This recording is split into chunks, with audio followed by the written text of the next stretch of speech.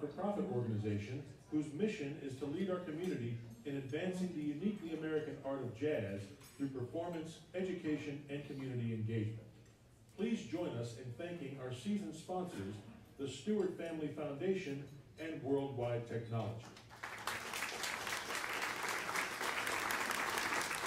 We'd like to remind you of our listening room policy and ask that you please keep table conversations to a minimum during the performance and silence your phone out of respect to those around you and the musicians on stage.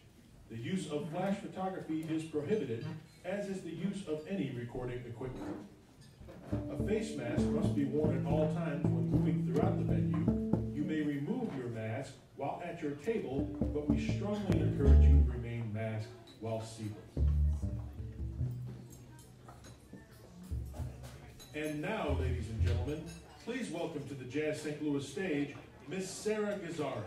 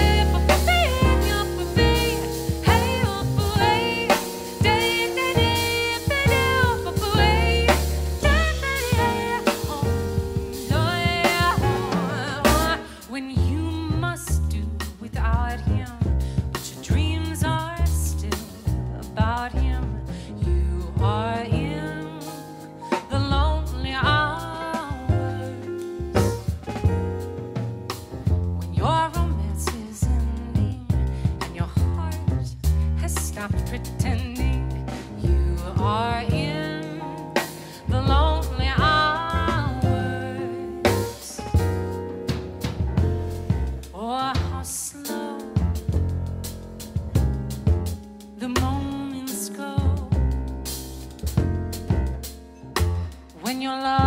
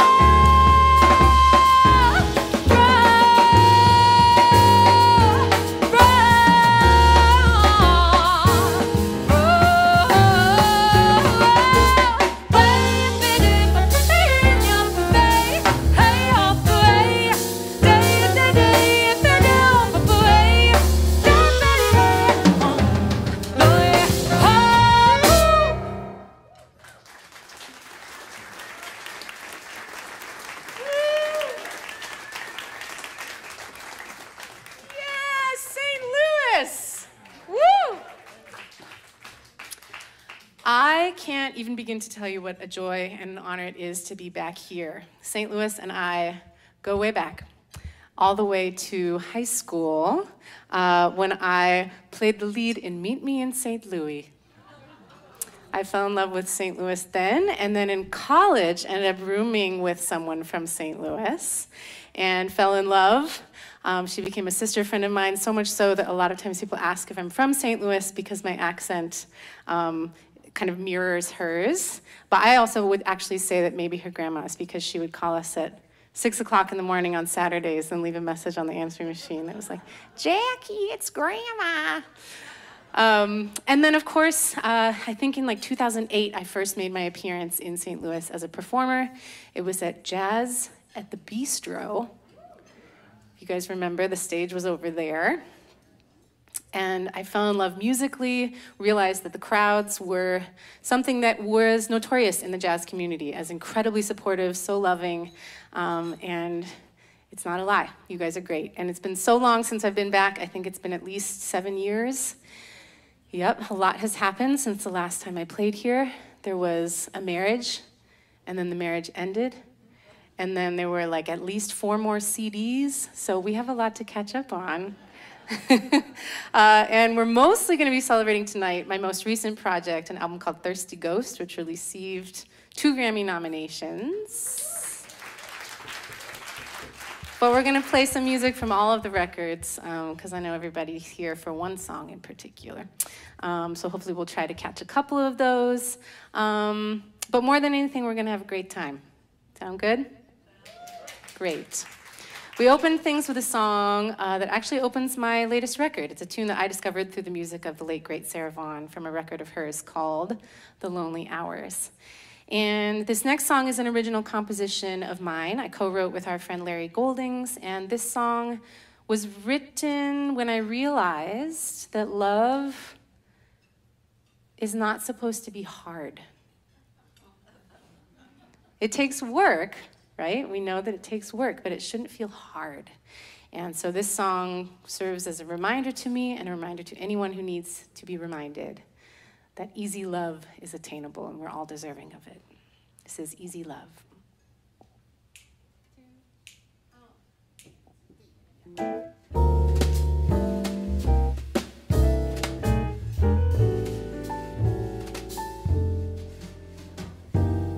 See how the bluebird holds the sky. Won't ever pause to wonder why she thrives miles above in easy love. Look how the sun beholds the moon without a care of fading soon. She shines night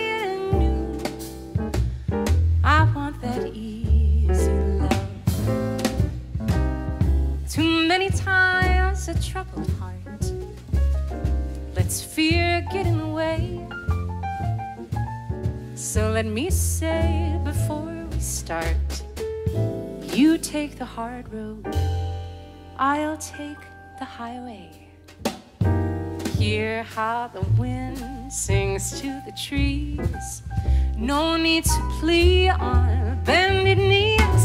That warm, tender breeze that sings for me. I want that easy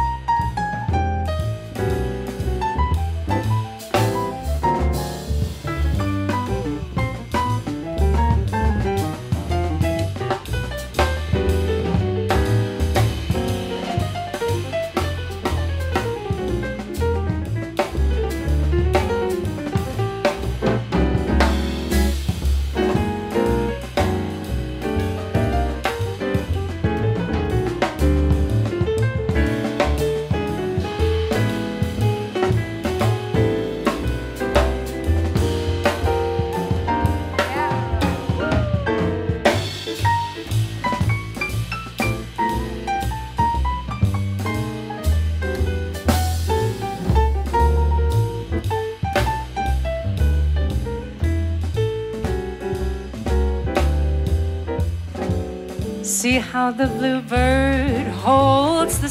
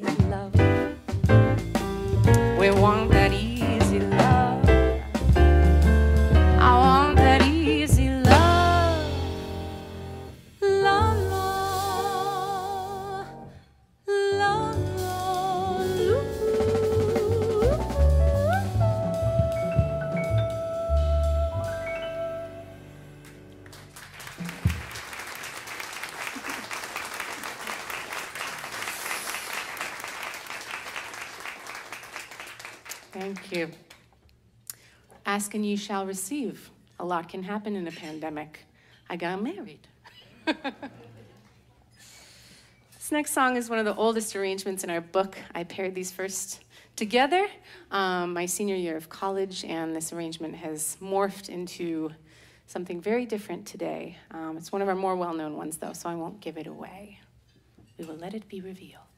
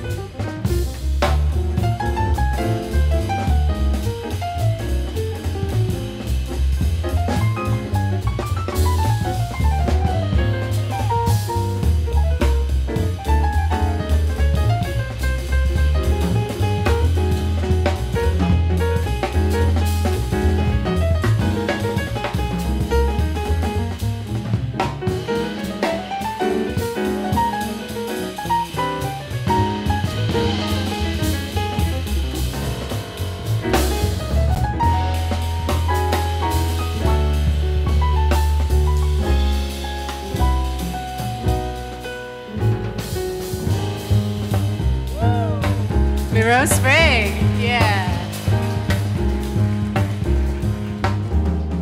Blackbird singing in the dead of night. Oh, take these songs.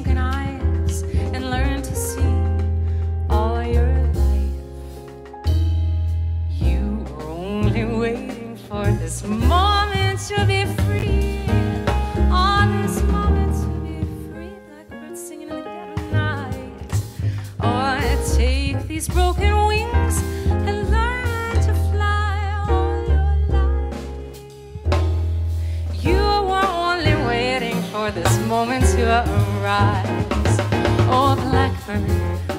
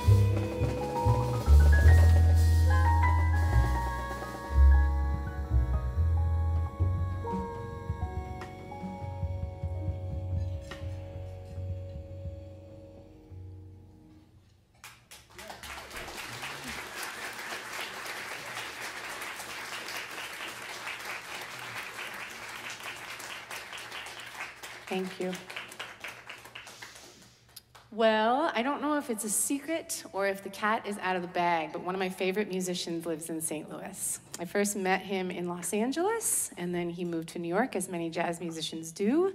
And then we lost him, but St. Louis gained him. And so when I found out that I was going to be playing these shows, I quickly invited him to join us. Prior to that, I asked him to write and arrange horns for that Grammy nominated CD, and we're so excited to have him here with us this evening. Please welcome to the stage Alan Ferber on trombone.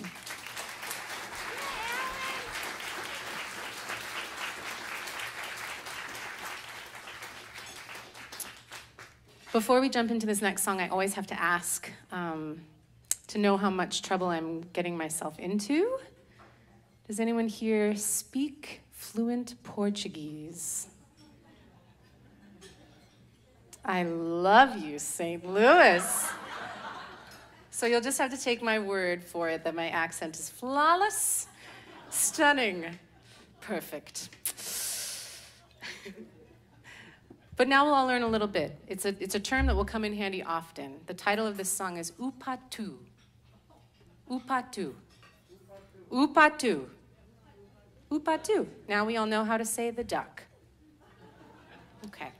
Thank you.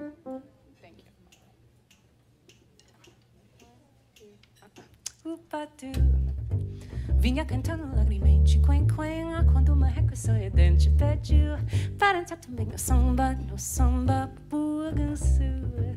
Gostou da dupla e fez também, quen quen quen, e o prosiste diz assim, vem vem, que o quarteto ficará bem, muito bom, muito bem. Na beira da lagoa foram ensaiar para começar o tico no fubá. A voz do pato era mesmo de chacato Jogou de cena que isso era mate Mas eu gostei do final quando caíram na água E ensaiando a vocal quen, quen, quen Quen, quen, quen Quen, quen, quen Quen, quen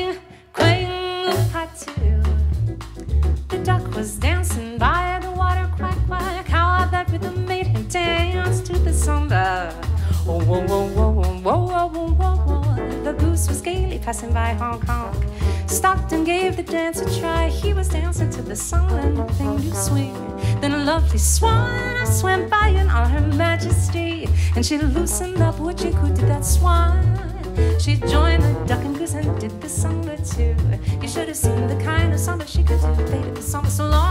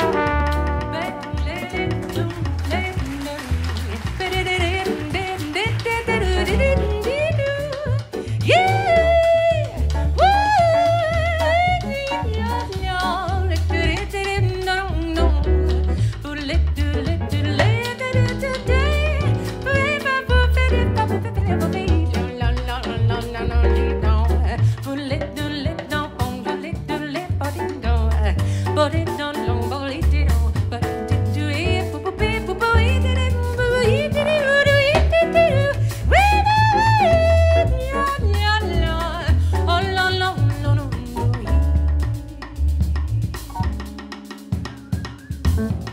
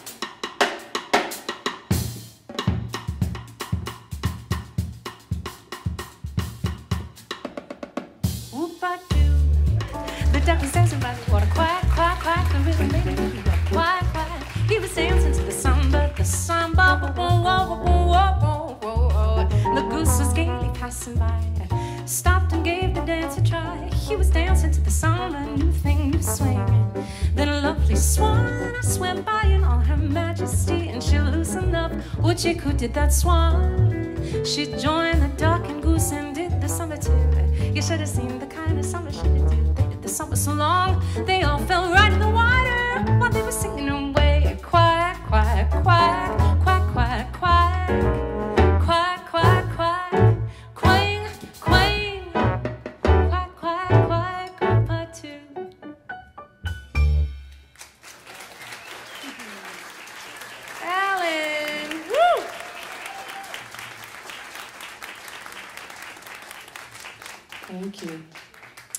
like to welcome back to the stage Leonard Simpson on alto saxophone.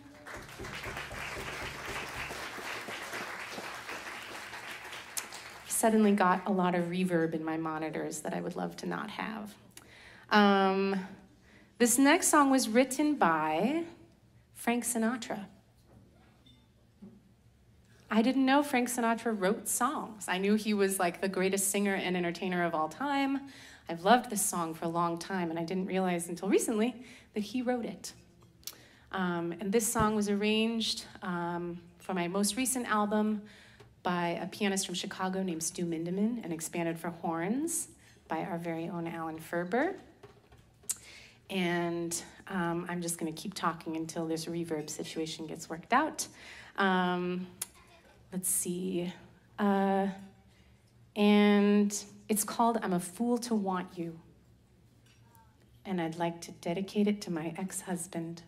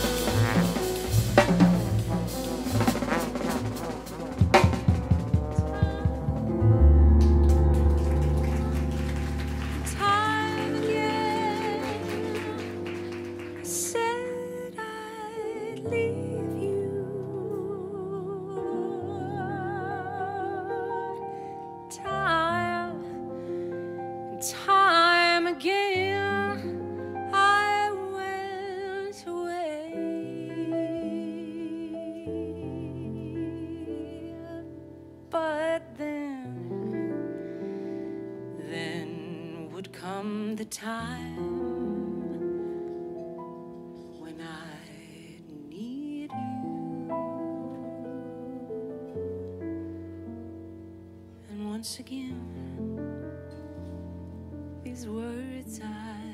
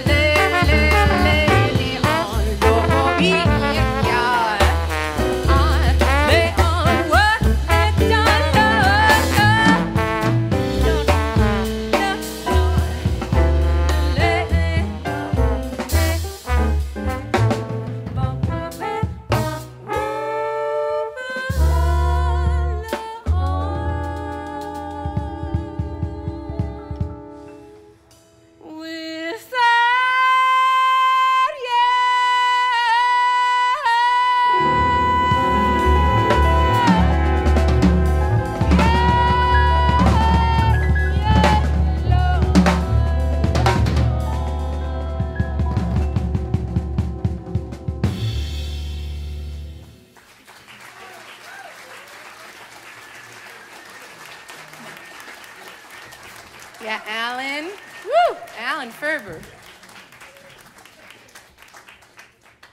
I'm just going to tune my instrument real quick.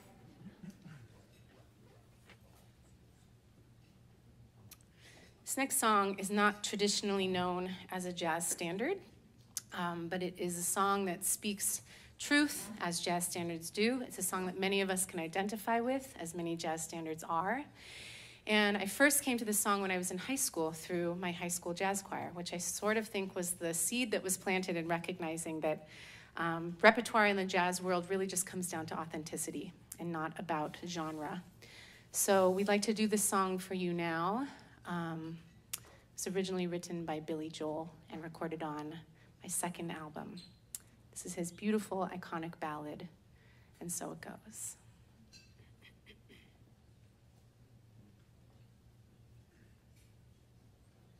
In every heart, there is a room, a sanctuary safe and strong to heal the wounds from lovers past.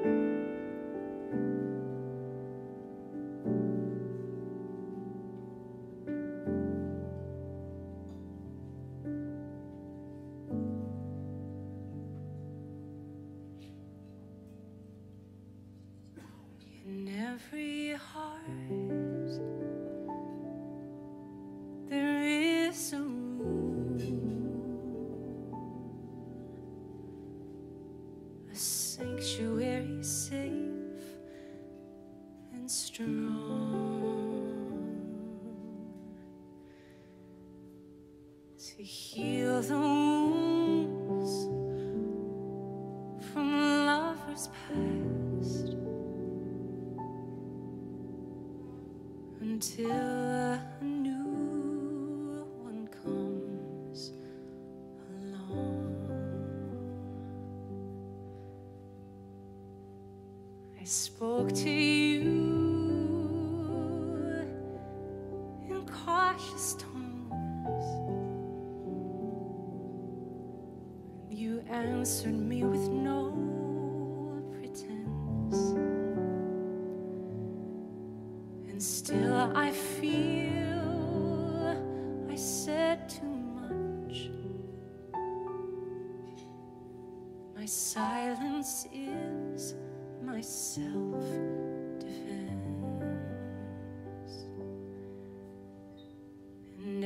time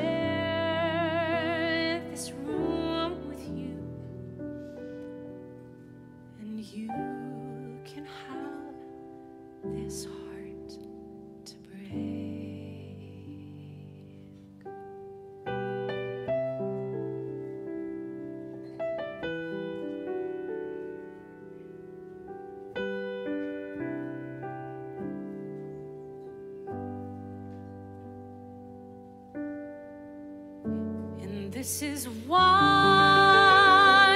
my eyes are closed.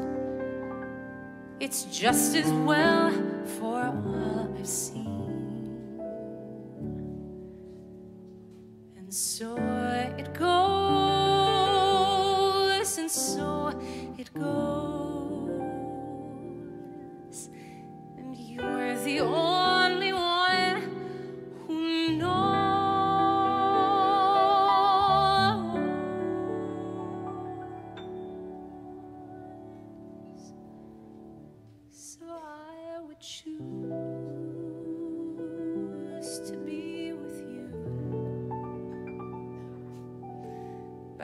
the choice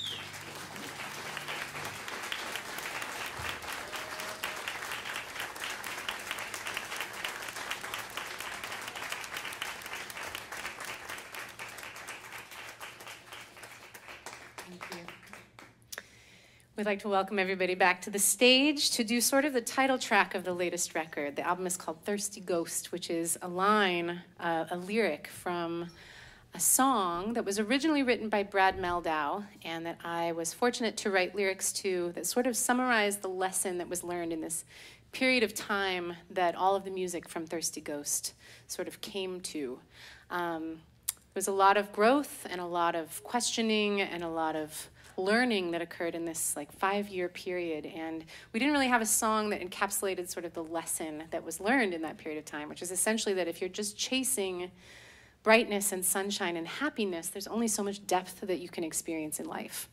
And it's a pretty deep adult lesson to learn and an important one i think for all of us. So this song sort of speaks about the importance of recognizing that we do actually need rain and storms um, because without it the sun would just kind of kill everything so um, this is Distant Storm, originally called When It Rains, um, and on the record features Kurt Elling in a poem in the middle, and I'll do my best to channel him. Um, but music by Brad Mehldau, lyrics by yours truly, horns by Alan Ferber. This is Distant Storm.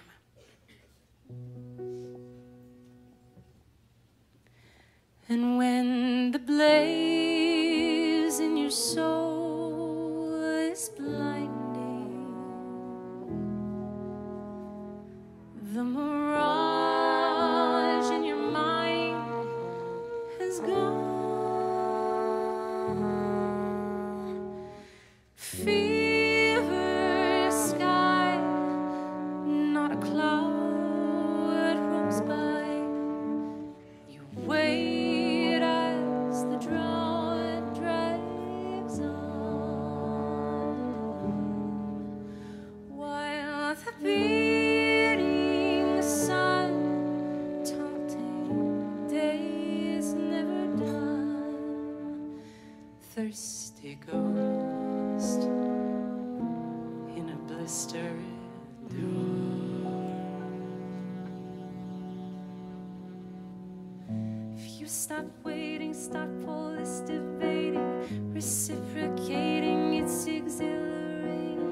This suffocating, baiting, hesitating, creating, captivating, stimulating.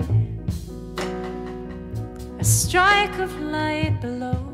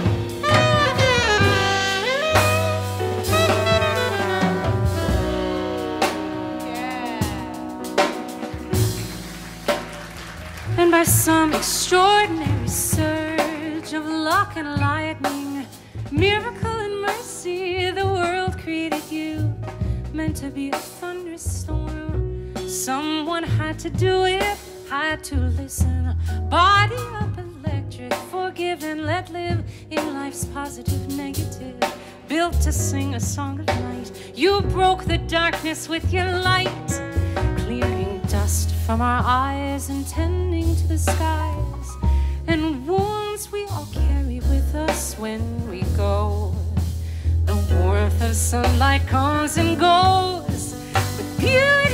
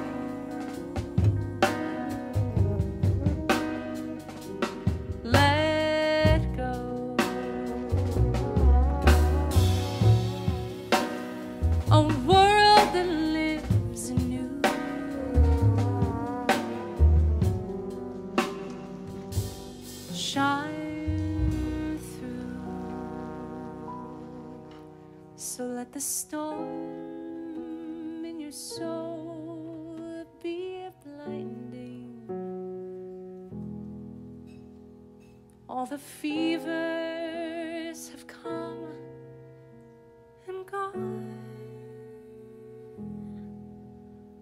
Heart to sky, watch the clouds roll by. Give in to that glistening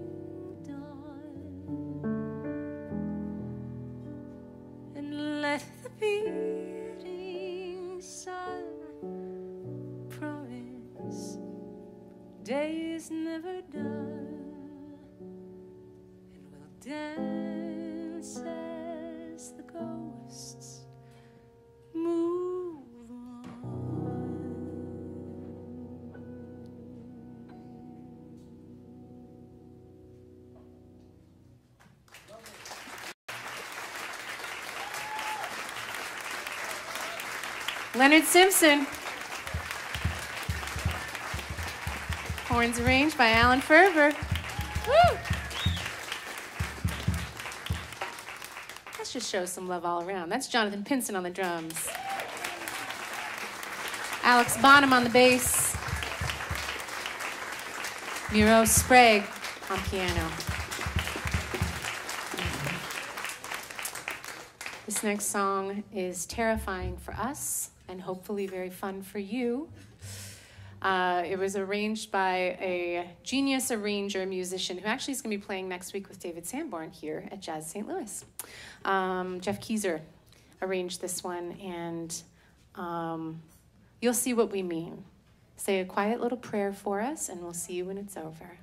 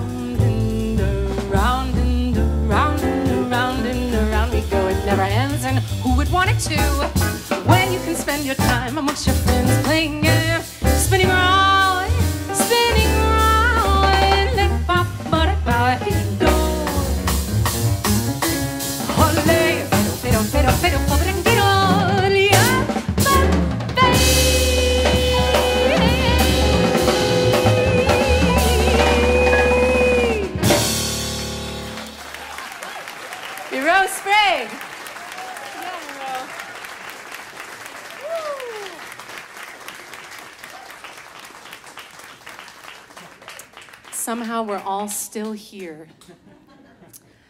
oh boy, but we've reached my least favorite part of the whole day the last song of the show. I know, me too. Ugh, but the good news is we are here for a while. So if you want to come back, you can. We'll be here Friday and Saturday and Sunday. So you can come hang with us. We'll be back. Um, if you have a full dance card and you still want to keep the party going, we do have CDs and vinyl for sale, and we'll be happy to sign those. We'll be over by where the alcohol is, so come say hi over there.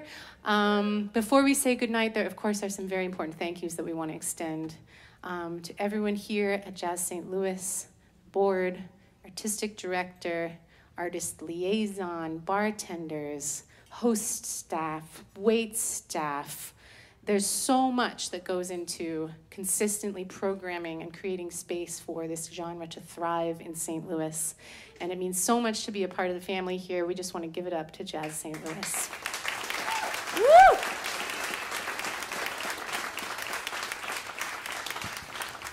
We also want to thank all of you for coming out and supporting live music and for supporting live musicians on a Thursday night.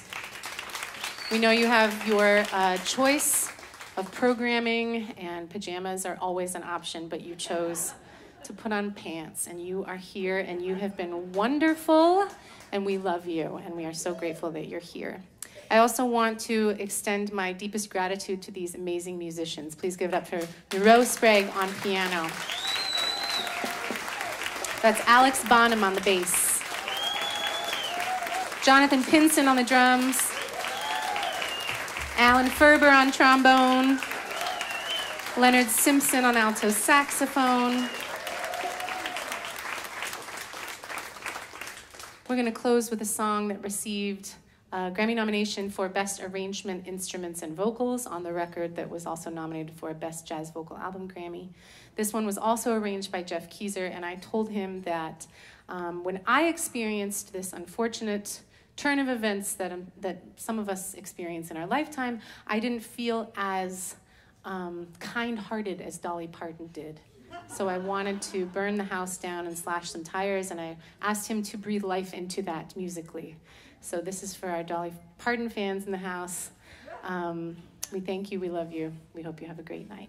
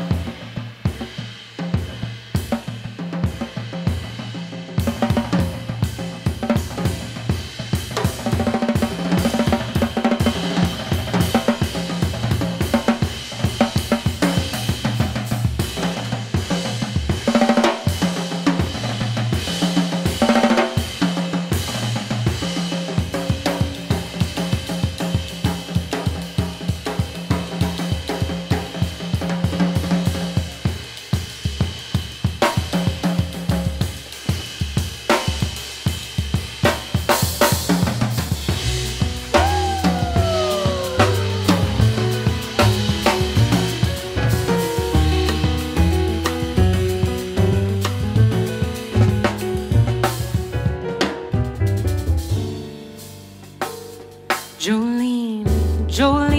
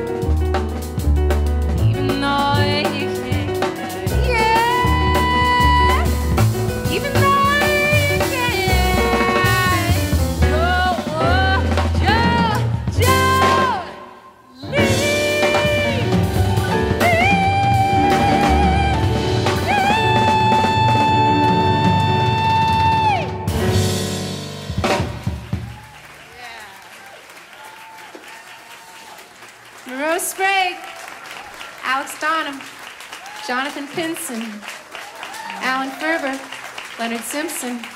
My name is Sara Gazarek. We love you, St. Louis.